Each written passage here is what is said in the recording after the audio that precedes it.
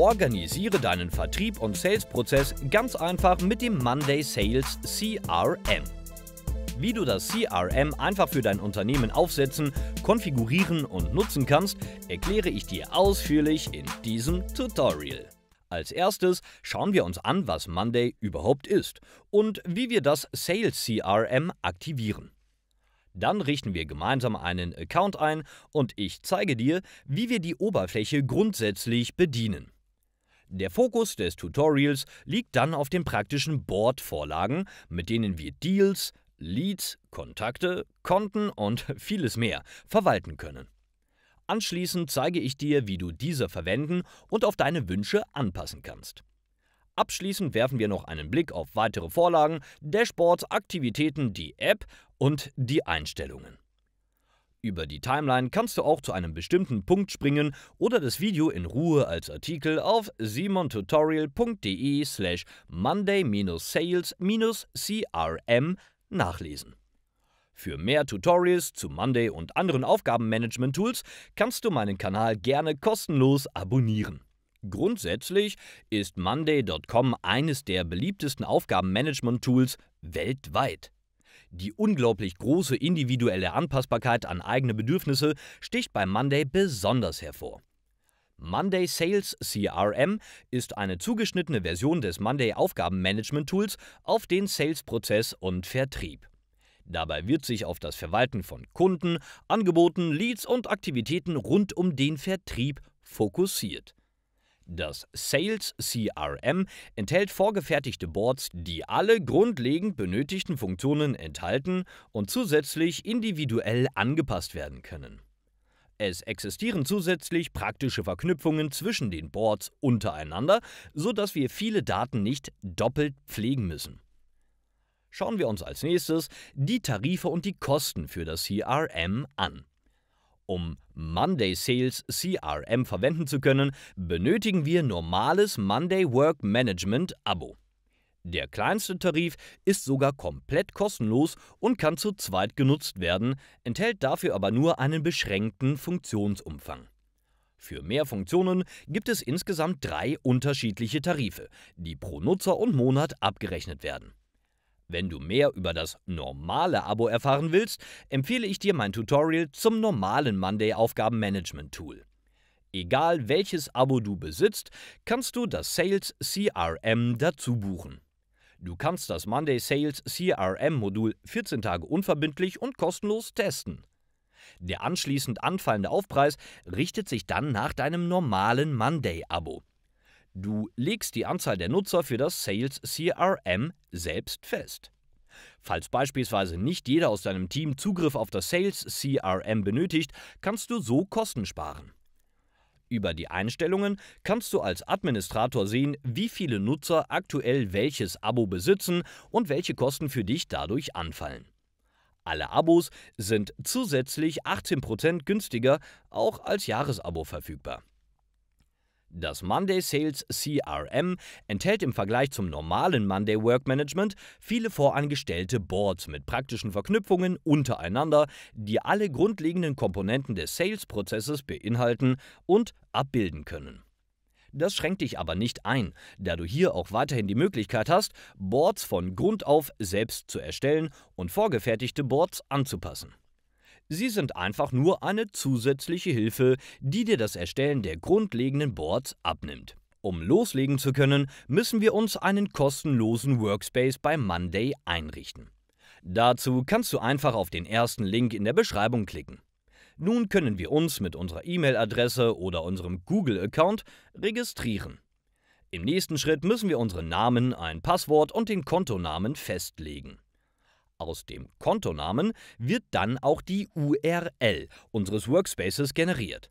Haben wir den AGB zugestimmt, werden wir noch kurz gefragt, wofür wir Monday nutzen möchten und können weitere Personen zu unserem Account hinzufügen.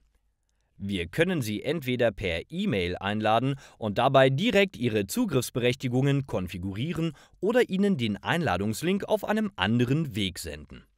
Zusätzlich haben wir die Möglichkeit, allen Personen die Anmeldung zu unserem Workspace zu erlauben, die eine E-Mail-Adresse von einer bestimmten Domain besitzen. In der Regel ist das die Domain unserer Organisation. Wir können aber natürlich auch nachträglich noch weitere Mitglieder zu unserem Workspace hinzufügen. Um richtig loslegen zu können, müssen wir jetzt nur noch unsere E-Mail-Adresse bestätigen und ein Board und zwei Aufgaben anlegen. Loggen wir uns dann über unsere individuelle Domain in unserer Monday Workspace ein, können wir unsere normalen Aufgaben verwalten. Um jetzt das Sales CRM zu aktivieren, müssen wir einfach am unteren linken Rand auf unser Profilbild klicken und können so unsere Monday-Produkte verwalten. Klicken wir hier auf Entdecke mehr Produkte, sehen wir unter anderem das Monday Sales CRM Modul sowie weitere Module für Marketer, Developer und Project Manager. Wir sehen auch, dass das normale Work Management Modul bereits aktiviert ist. Falls dich das normale Workmanagement-Modul oder die anderen Module von Monday auch interessieren, kannst du gerne in meinen Monday-Kurs vorbeischauen. Dort findest du ausführliche Tutorials zu allen Modulen. Wenn wir über die entsprechenden Berechtigungen verfügen, können wir jetzt zum Sales CRM wechseln. Ich erkläre dir alles anhand eines Admin-Accounts mit allen Berechtigungen. Je nach deiner Nutzerrolle kann es deswegen sein, dass manche Funktionen für dich nicht sichtbar sind. Spreche am besten direkt mit deinem Teamleiter, falls du auf etwas Wichtiges keinen Zugriff haben solltest. Der Sales CRM-Bereich ist grundsätzlich genau so aufgebaut wie dein normaler Monday-Arbeitsbereich. Am linken Rand sehen wir direkt alle Standardboards. Auf diese gehen wir in den nächsten Kapiteln dann genauer ein. Wir können aber auch einfach weitere leere Boards oder Boards aus Vorlagen hinzufügen. Zusätzlich können wir auch Ordner für unsere Boards erstellen und damit die Übersichtlichkeit verbessern. Ganz oben können wir auch den aktuellen Arbeitsbereich bearbeiten und weitere Arbeitsbereiche erstellen. Diese sind standardmäßig leer. Über die Vorlagen können wir dann aber die Standardboards einem neuen Arbeitsbereich hinzufügen. Den Sales CRM Arbeitsbereich können wir am oberen Rand auch umbenennen, sowie in den Einstellungen des Arbeitsbereichs alle Boards und Mitglieder und deren Zugriffsberechtigungen verwalten. Auch ein Symbol und eine Farbe können wir für den Arbeitsbereich einstellen. Am ganz linken Rand können wir unsere Benachrichtigungen und uns betreffende Änderungen sehen. Unter Meine Arbeit werden uns alle Elemente angezeigt, die uns direkt zugeordnet sind. Dadurch entsteht automatisch eine To-Do-Liste, die wir wiederum teilweise auch individualisieren können. Du kannst dir beispielsweise nur bestimmte Boards oder nur Elemente mit einem bestimmten Status anzeigen lassen. Außerdem können wir eine Ansicht wählen, in der nur unsere favorisierten Boards angezeigt werden, Erweiterungen und ganz unten unser Monday-Profil verwalten sowie zu unseren anderen Monday-Modulen wechseln. Das Menü ist dabei in allen Modulen genauso wie hier aufgebaut. Schauen wir uns jetzt das Herzstück vom Monday Sales CRM an, nämlich die Standardboards zu Deals, Kontakte, Konten und Leads. Im Deals Board können wir alle unsere Angebote für Kontakte und Konten verwalten. Die Deals können wir hier in unterschiedliche Gruppen gliedern und so beispielsweise aktuell laufende und abgeschlossene Deals trennen. Ganz oben können wir dann einen neuen Deal erstellen. Wir müssen einen Namen für diesen festlegen und können diesen dann der verantwortlichen Person in unserem Team zuweisen. Unter Konten können wir die Firma der Person angeben, an die sich der Deal richtet. Diese können wir ebenfalls unter Kontakte hinzufügen. Die beiden Spalten sind jeweils mit dem Kontakte- und Kontoboard verbunden, in dem wir alle Firmen und Personen verwalten können. Unter Stufe können wir dann den Status des Deals angeben sowie seine Priorität hinzufügen. Jedem Deal können wir dann noch einen Wert und eine Abschlusswahrscheinlichkeit zuweisen. Daraus wird dann automatisch der Erwartungswert berechnet. Uns wird auch automatisch der Zeitraum angezeigt, seitdem der Deal bereits verhandelt wird. Zudem können wir ein voraussichtliches und später dann tatsächliches Abschlussdatum festlegen. Auch für den tatsächlichen Abschlusswert und Ort gibt es standardmäßig jeweils ein Feld. Willst du noch weitere Informationen zum Deal hinzufügen, kannst du dafür einfach eine neue Spalte anlegen. Nicht benötigte und nicht verknüpfte Spalten kannst du auch einfach löschen oder ausblenden, um das Board übersichtlich zu halten. Dafür klickst du einfach auf die drei Punkte neben dem Spaltennamen. Wenn wir einen Deal erstellen, müssen wir immer auch einen Kontakt und ein Konto mit diesem verknüpfen. Diese finden wir in einem anderen, separaten Board. Jeder Kontakt hat eine Firma und einen Titel. Auch welche Deals mit einem Kontakt bestehen und sich gerade entwickeln, können wir hier sehen.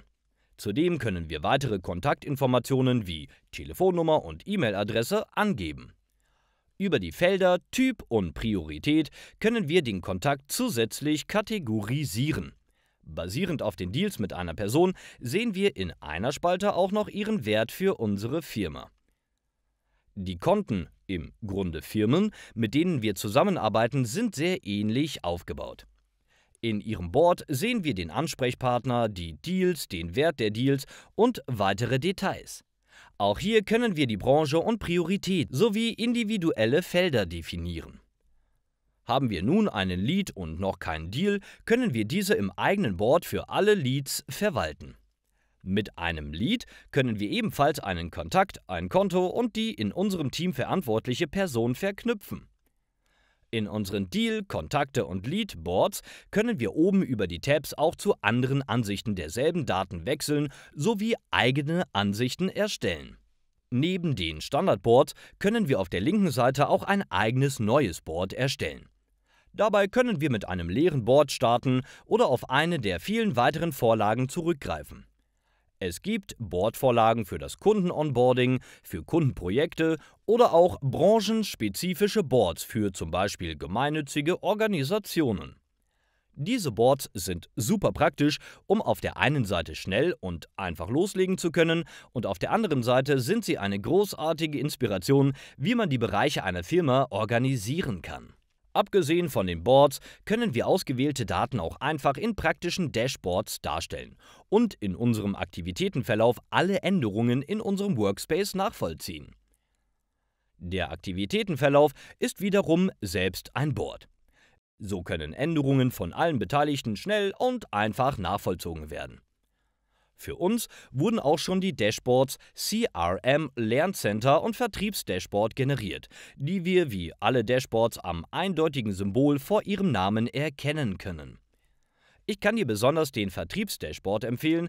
In ihm findest du alle wichtigen Werte für den Vertrieb auf einen Blick und kannst beispielsweise dein monatliches Ziel definieren und bequem im Auge behalten. Bei den Dashboards können wir am oberen Rand von einem Ansichtmodus in einen Bearbeiten-Modus wechseln. In diesem können wir jedes Element über die drei Punkte in der rechten oberen Ecke bearbeiten. Fahren wir über die linke obere Ecke eines Elements, erscheinen sechs Punkte. Klicken wir auf diese, können wir das Element per Drag and Drop frei auf dem Dashboard verschieben. Fahren wir über die rechte untere Ecke eines Elements, erscheint ein blauer Punkt, über den wir das Element durch gedrückt halten und Ziehen der Maus vergrößern oder verkleinern können. Jedes Dashboard können wir am oberen rechten Rand auch einfach mit Dritten teilen und so zum Beispiel einem Kunden Einblick in bestimmte Daten geben. Über die Boarderstellung können wir natürlich auch ein eigenes individuelles Dashboard erstellen. Ich rate dir erst, alle Boards einzurichten, bevor du dir Dashboards erstellst. Dann liegen dir bereits alle Daten vor, die du dann aggregiert in den Dashboards anzeigen kannst. Alle Funktionen des CRM-Moduls stehen dir nicht nur in der Web-Anwendung, sondern auch in der Monday Smartphone und Tablet-App zur Verfügung. Du kannst dir die Monday-App einfach aus deinem App Store herunterladen und dich dort mit deinem Monday-Account anmelden. Dazu gibst du deine E-Mail-Adresse ein und erhältst daraufhin eine E-Mail, in der du den Workspace auswählen musst, bei dem du dich anmelden möchtest. Auf dem Homescreen der App sehen wir dann alle unsere Boards aus allen Monday-Modulen. Am oberen Rand können wir aber auch nur einen bestimmten Arbeitsbereich auswählen oder die Boards nach Favoriten oder kürzlich sortieren. Klicken wir ein Board an, können wir auf alle Elemente zugreifen, wie wir es von der Web-App kennen. In der App finden wir auch unseren persönlichen Arbeitsbereich mit uns zugeordneten Aufgaben und Benachrichtigungen. Unter Mehr können wir auf unseren Posteingang zurückgreifen, unser Profil verwalten, alle unsere Teammitglieder anzeigen und unser Monday durchsuchen. Ganz unten können wir unser Konto wechseln und die Anwendungssprache ändern. In der Web-Anwendung können wir über unser Profilbild am unteren linken Rand unser Monday-Profil verwalten. Hier können wir unsere Kontaktinformationen, unser Profilbild und unseren aktuellen Arbeitsstatus bearbeiten. Diese Informationen sind dann für Teammitglieder in Monday sichtbar. Sind wir Administrator von einem Monday-Team, können wir unter Admin auch die Teamverwaltung öffnen. Hier können wir allgemeine Einstellungen zu unserem Monday-Account machen und unter Mitglieder beispielsweise für jede Person einsehen, ob diese Zugriff auf das Sales CRM-Modul hat oder nicht, sowie die Berechtigungen anpassen. Unter Rechnungen sehen wir auch, wie viele Mitglieder aktuell auf die Sales-Erweiterung zugreifen und können alle Rechnungen einsehen. Hier können wir das Sales-Modul auch wieder aus unserem Monday entfernen, falls wir es nicht mehr benötigen sollten. So einfach können wir unseren Sales-Prozess mit Monday organisieren. Über den ersten Link in der Beschreibung kannst du ganz einfach kostenlos durchstarten. Wenn du wissen willst, wie das normale Monday Work Management funktioniert, findest du auch dazu sowie zu weiteren Monday-Anwendungen Tutorials auf meinem YouTube-Kanal. Falls du noch Fragen oder Feedback haben solltest, kannst du dieses gerne in den Kommentaren hinterlassen. Bis zum nächsten Mal.